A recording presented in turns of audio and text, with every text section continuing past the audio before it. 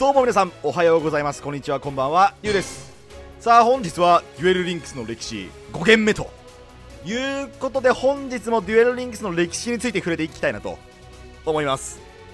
えーこの今回の動画もですねあのノート。で先行公開した内容をちょっとだいぶちょっとランキングがね変わってるんですけども、まあ、動画にしてやっていこうかなと思います。あの気になる方はぜひねノートの方もチェックしていただければと思います。あのー、ノート界隈ではですねあ文才がある。天才。神などの、えー意見が、えー飛び交ってましてノート公式からも、えー非常に注目されている、えー私のリンクスブログなんですけれども。橋森、えーあ今嘘中の嘘をつきました。すいません。えー あの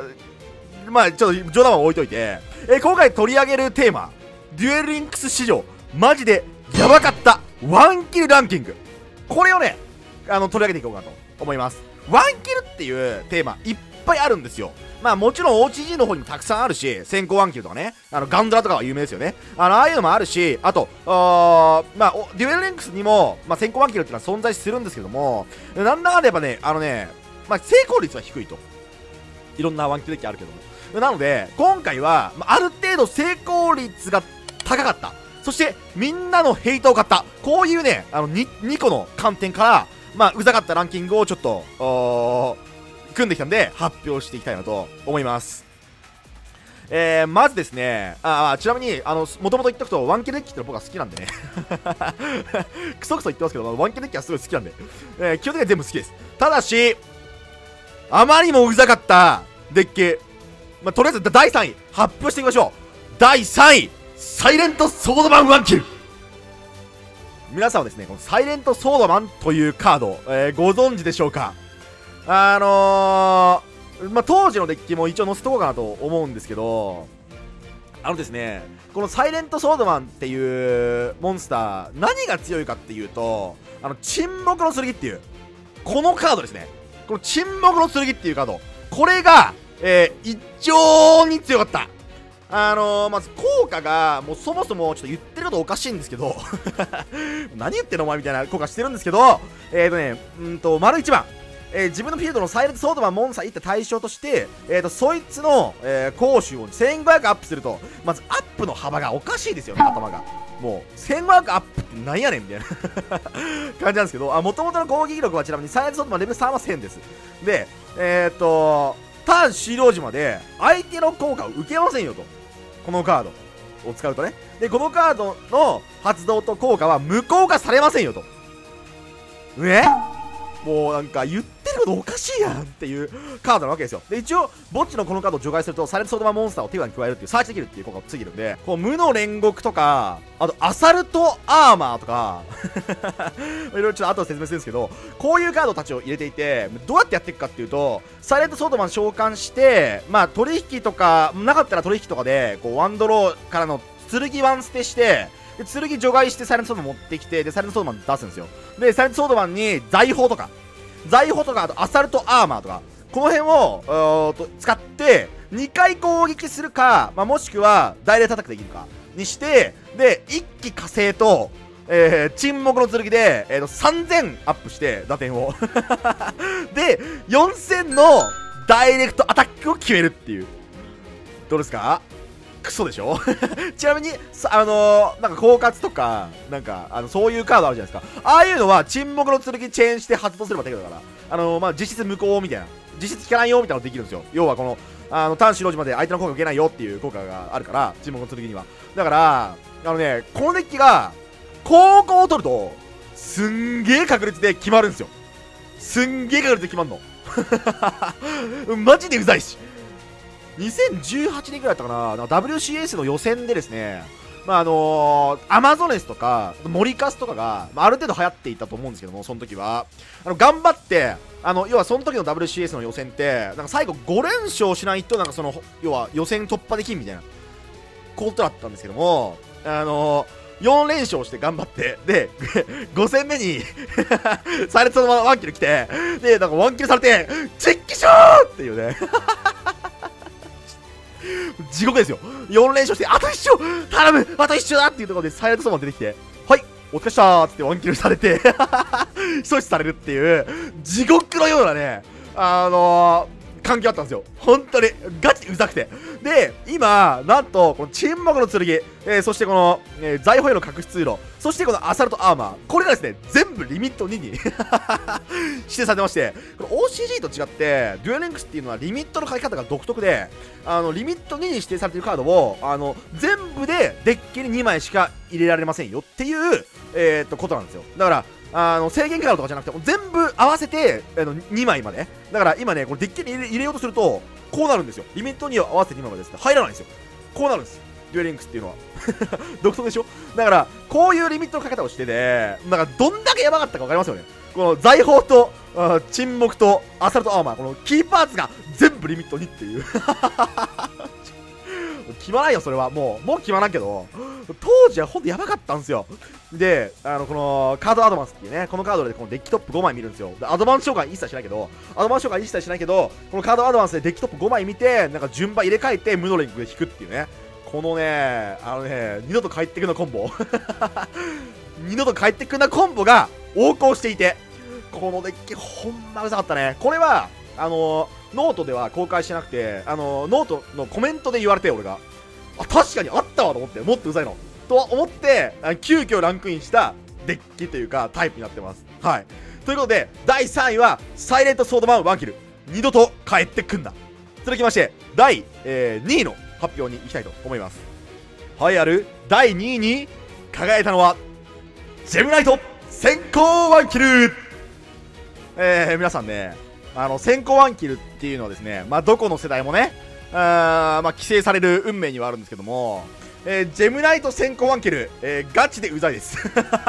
長い迷惑めちゃくちゃ迷惑。これはねキング松坂も言ってた。あれ迷惑じゃないって。うん多分言ってた。知らんけど。あのー、2019年最優秀迷惑賞をね、えー、実受賞しました。2019年じゃない、2018年か ?2019 年か？もう2019だからまだわかんねえか。2019まだ迷惑なデッキいっぱいあるからな。ちょ、まだわかんねえわ。今のちょっと嘘ついた。えー、あの、どういうデッキになるかっていうと、先行で4000バーン、4000バーンっていうかまあ、あの、4000ライフを削り切るよっていうデッキです。えっ、ー、とね、今、リミット1に指定されている、このジェムナイト、レディ、ラピスラズリっていう、あの、クソモンスターが こいつが、えっ、ー、とね、バーンダメージ飛ばしてくるんですよ。ジェムナイトラピスとジェムナイトモンスターで融合召喚できますよと。で、えっ、ー、と、自分はジェムナイトラピスラズリを1ターンに1度しか特殊召喚できないっていうルールあるんだけども、1ターンに1度自分のメインフェーズにデッキもしくはエクストラデッキからジェムナイトモンスターを墓地に送ると、ピエドの、えー、特殊召喚されたモンスターの数かける1000、えー、じゃあ500ダメージを与えると。だから、3体特殊召喚しているモンスターがいれば、1500バン。が与えられるんですねだからラピスラズリーの効果を、えー、と3回使います、えー、先行分けするにはだから3回、えー、このラピスラズリの効果を使って、えー、4000っていうライフポイントを削り切るっていうデッキになってましてで、えー、まずはどうやってっていうか上振れせ、えー、上振れまして、何の芝刈りを引きます。まあ、上振れなくても、リスタートがあるんで結構引けるんですけどね。リスタートあるから引けるし、あとこの、えー、雑貨商人とかもあるんで、意外と引けるんですけども、えー、これで、えっ、ー、と、芝刈りを引きまして、で、えー、芝を刈りますと。で、えっ、ー、とね、墓地から、こう、蘇生できるブロックドラゴンとか蘇生したりとか、あと、あの、この、ラズリーね、これ墓地に送られると、墓地の通常モンスター回収できるよってこと思ってるんで、こういうので、このラピス回収してきたりとかして、コンボパーツを集めますよと。で、あの、ジェムライトモンスターっていうのは融合すると、結構アドバンテージを回復できるモンスターがいて、例えば、えー、こいつが融合素材になると、手だから墓地を送られると、自分の墓地のレベル4以下の通常モンスターを特殊召喚できるよと。だからこれでこう特殊召喚したりとか、なんか、うんと、こいつで墓地を送って融合して、その後またもう一回これ回収したりとかして、で、ジェムナイト、フュージョンっていうこの頭おかしい融合カード、えー、これも 融合カードの癖しやがって、えーと、墓地を送られるとあのジェムナイトモンスターを除外すると回収できます。だからニッターに何回も融合するんですよ。であこれだって特殊が1ターンに一度しかできないんでしょ？と思うじゃないですか。あのラピスラズリっていうモンスターがあの1ターンに一度しか特殊召喚はできないけど別に効果は使えるんですよ。だからね効果をコピーすればいいんです。コピーすれば。でコピーするモンスターっていうのがこいつなんですね、えー、ジェルトマスターダイヤ。えー、これが、えーと、1対1と自分の墓地のレベル7以下の自分らと融合モンスターを除外するとエンドフェイズまでこいつを、あのー、除外したモンスターの同盟カードとして扱って同じ効果を得ると。だからダイヤが結局ラピスラズリなんでラピスラズリの効果1回使ってでもう1回ラピスラズリ墓地送っといて2体墓地送るようにしといてラピスラズリを。で、えー、ジェムナイトマスターダイヤをの効果を2回使うと。こういうデッキですね。これで全部でラピスラジオの子が3回使えるんでワンキルと。どうですか？クソゲーだろ？しかもね厄介なのはこれねめっちゃ長いの。めっちゃ長いの。めちゃくちゃ長い。操作量も結構あるし。だからめちゃくちゃ先行であの G 恋をして。これあの遊戯王軽犯罪法の一つあるあの公然えーと、わいせつ行為陳列罪っていうのにあの引っかかるんで、まあ、実質ね懲役、えー、3年から5年ぐらいが求刑できるかなと思うんですけどもめちゃくちゃ動いてめちゃくちゃ動いて結局あのワンキルしてくるっていう。4000番飛ばしてくるっていうね。クソゲーすぎる。本当に。でねやっぱね結局ね OCG でも悪さするしたんですけどこのブロックドラゴンっていうのがねダメなんですよ。このモンスターが。これねフィールドから墓地に送られるだけでレベルが8になるようになんかそのデッキからえっ、ー、と、岩石のモンスターを3体まであの手札に加えるよって思ってるんで、これでね、ブロックドラゴンを素材にして、そのジルコーニアとか出すと、あの、3枚手札増えるんですよ。こいつが墓地に送られると、え、1、えっ、ー、と、3、4とかで、あの3枚手札増やして で、またフュージョンして、回収みたいな、ことをして、もう繰り返して、ひたすらに横にブーって並べて、で、なんか、ここぞってバカにラプスラズリー出すみたいなね。で、このなんか、ブリリアントダイヤっていう、こいつも頭おかしくて、なんかその、融合を使わずになんかそのなんかフィールド上のジェムライトモンスターを融合モンスターに変えるっていう能力持ってるんですよ。頭おかしいでしょ。もう頭おかしいですよ全員。っていうねこういうデッキが、まあ、結構いましたね。まあ、先行ワンキル型じゃなくても十分強いんですよこれ。あの普通にさ先行でバッて展開されるじゃないですか。でこれ攻撃力見てください。攻撃力。3400えーと、2900でこいつあの伊達上がるんで墓地のジェムライトの数。ジェムモンスターの数か。だけ。だからこいつも3000いくつになるんですよね。だからねシンプルにあの脳筋力で突破できんっていう場面になってであのターン返したらもう一回ラピスラジの効果使われてみたいな感じになるんであのね超高打点モンスターを出すくせに癖しやがって一回も殴んないで勝つっていうのがまたこれがマジでうざいの。少しお前殴れよみたいな。もっと殴ってくれっていう。こういうデッキでございましたね。ということで、えー、第2位はジェムナイト先行ワンキルでございました。さあそして栄えある第1位に輝いた、うん、超絶、えー、迷惑デッキ第1位紹介していきましょう。第1位はカーディアン。これは皆さん予想していた方も多いんじゃないでしょうか。えー、まあ、これ最近のテーマですね。結構出たのも最近でございましてですね。えー、これほどかつて嫌われたデッキがあるでしょうか。いなっていう。まあ、花カスワンキルって言われてるね、えー、デッキのタイプでございます。えー、っと、カーディアン。あの、遊戯王アーク5というアニメで、あの、エンジョイ長次郎っていうね、すごい愛されキャラがいまして、おっさんですね、おっさん。あの、花札使って、あのひたすらあのエンジョイって叫んで自分だけエンジョイさ、えー、して一切相手をエンジョイさせずに自分だけ気持ちよくなるっていうね。そういう極悪デッキですよ俺。あのアニメではもうちょっとなんかシンクロモンスターが活躍したと思うんで結構面白かったかなと思うんですけどもあのデュエルリンクスではシンクロモンスターがまあ弱いと。いうことで、あのー、強いやつがいないんですよね。強いやつもいないしあとなんかその必要さも足りてないからなんかね超迷惑外役ワンケデッキになり下がりました。花札は。あの炎上頂上といえばねあの超名言があってねデュエルとはすなわち人生なり。人生は一度きり。勝つ日もあれば負ける日もある負けを恥じず勝っておごらずすなわちレッツエンジョイっていう この名言があるんですけどもこれ今でも語り継がれている遊戯王ファンの間では今でも語り継がれている非常に有名な名言なんですけどもあのね全然エンジョイしないですよ。レッツエンジョイって言っといて、全然、自分だけはエンジョイしますよ。けど、相手は一切にエンジョイさせません。どういう、まあ、デッキタイプになるかっていうと、このね、カーディアモンスターたちっていうのが結構共通、まあ、共通じゃないけど、ほぼこんなような子が持っています。えっ、ー、と、このカードは、えー、っとね、えー、丸1番か。このカードが特殊、あ、じゃ丸1番じゃない、丸2番か。丸2番、丸2番でいいよ。えっ、と、自分は、えっ、と、このカードに、このカードが特殊召喚に成功した場合に、まあ、これ召喚に成功した場合にのパターンもあるんですけど、えに、自分は1枚デッキからドローしますと。で、お互いに確認しますよと。で、それが、カーディアンモンスターだった場合は、なんか何かしら、こいつだったら魔法トラップカードを1枚破壊するんですけど、モンスター破壊とかもあります。をして、えー、違った場合はそのカードを墓地送りますよっていう効果がついてるんですね。だから、あの、要は、えっ、ー、と、アドバンテージを失わない。まあ、こいつ出てきて、で、ドローしてカーディアンだったら、なんか魔法トラップ破壊して、で、また引いてきたカーディアンを出して、また同じようなことをしてっていうのを繰り返していくんですよ。だから、手札が全然減らないです。デッキトップがカーディアンである限り。で、えっ、ー、とね、デュエルリンクスにはこれが魔法トラップ破壊でこれがモンスター破壊なんですよで、えーと、こいつらが攻撃力が1000なんですねで、えっ、と、2000のやつもいて、それがこいつなんですけど、2000のやつ。で、1000、1000、2000を並べて、相手の盤面を全部破壊してワンキルするっていうデッキなんですよ。1000、1000、2000でワンキル。でも盤面がね、結構破壊できるんですよ。あのー、盤面を要は、えーと、増やしていくカードがたくさんあって、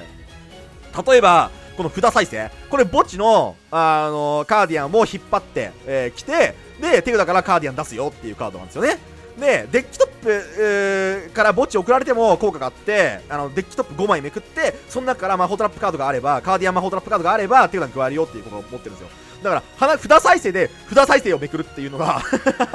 か、まあ、真のカーディアン使うのやりたいこと。札再生を、その、なんかカーディアンモンスターでめくって、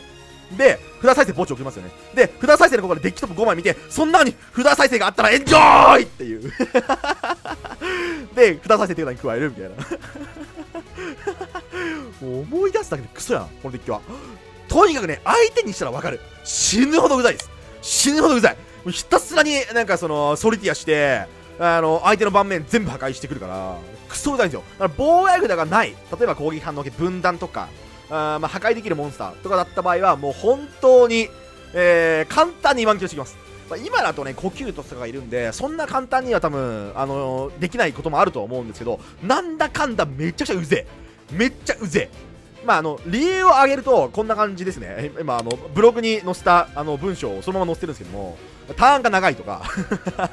基本的にはデッキトップ運ゲーだとかもう駆け引きもクソもないとかもう炎上を置いて叫んでる相手の顔を想像するだけで吐き気がするっていうね。これが一番でかいね。これが一番でかい、まあ、自分が使うときはエンジョイできるんだけどね。自分が使うときだけはエンジョイって叫んでめっちゃエンジョイできるんだけど、えー、まあ相手が使ってる想像しただけでマジで吐き気がするっていう。この花かすに関しては、まあ、当然、花かす07にわいせつ物陳列罪っていうのにあの引っかかりますんで、遊戯王軽犯罪法ですね。えー、これも懲役3年から5年が休憩できます。ちなみになんですけども、えー、私、このデッキで、この前の KC ファーストステージは突破いたしました。はい、そうなんですよ。僕ね、こういうデッキ好きなんです。あ、でも使われたら切れますよ。使われたら切れる。自分で使うのはいいけど、使われたら切れる。だって嫌だもん、使われたら。相手が嫌なことをするっていうのが遊戯王だと思うんですよ、俺は。あ違うんですか？あ、違うこれ あ、これ違う？はい。ということで、ガチで迷惑なんで、まあちょっと、迷惑デッキ、の迷惑デッキランキングみたいなのをちょっとまた、今後ね、やっていこうかなと思いますけれども、えー、ぜひね、えー、この動画気に入っていただけましたら、えー、グッドボタンとチャンネル登録お願いします。あの、